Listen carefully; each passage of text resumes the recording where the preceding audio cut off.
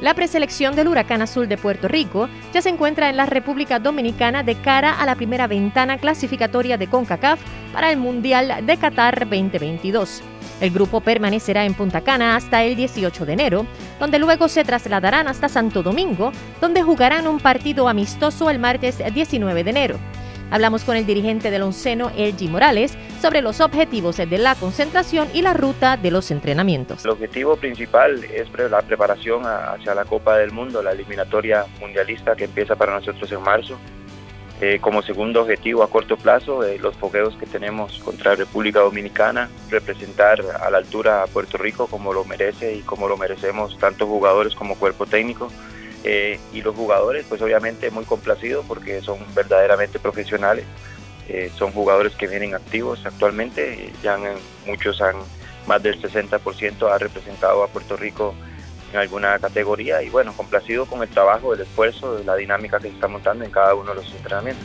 En estas eliminatorias, Puerto Rico se encuentra en el grupo F junto a Trinidad y Tobago, San Kitts y Nevis, Guyana y Bahamas.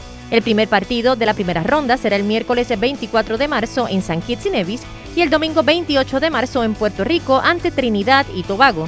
La acción continuará el miércoles 2 de junio como local contra Bahamas y el 8 de junio en Guyana. Estamos muy claros, yo creo que desde un inicio tenemos contemplado de que siempre te queremos competir contra las islas que, nos igualan eh, y o que nosotros tenemos una mayor jerarquía en cuanto a infraestructura, en cuanto a poder económico, en cuanto a, población social. Sin embargo, en el grupo hay un grande y no es menos eh, importante mencionarlo. Trinidad y Tobago es un equipo mundialista.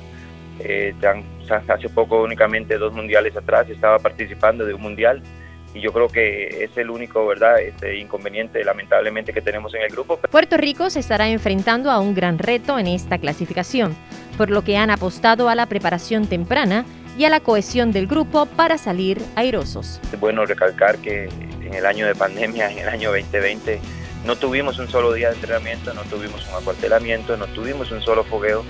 Y iniciar el año de esta manera yo creo que, nos llena de, placer, nos llena de orgullo, nos da el compromiso que, que tenemos que tener cada uno de nosotros cuando representamos a Puerto Rico. Yo creo que la ilusión más grande para cualquier futbolista y para cualquier persona el cuerpo técnico es poder representar al país con, creces como lo merece y dejar el fútbol de Puerto Rico muy en alto. Aquí estamos representando a, miles de personas eh, y yo creo que esa es la parte de verdad que tenemos que contemplar en todo momento.